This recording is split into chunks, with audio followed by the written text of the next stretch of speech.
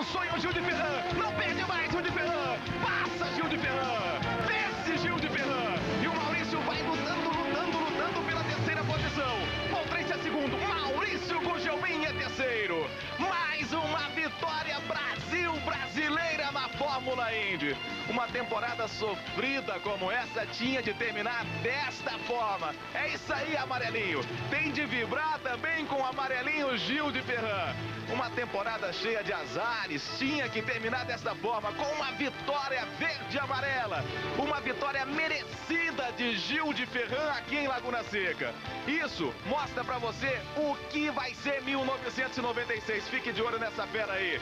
Fique de olho em Gil de Ferran. Um piloto em fase crescente. Uma fera, fera, fera do automobilismo brasileiro. Tem de vibrar mesmo, Gil. Um sonho seu, do Jim Hall, de toda a equipe.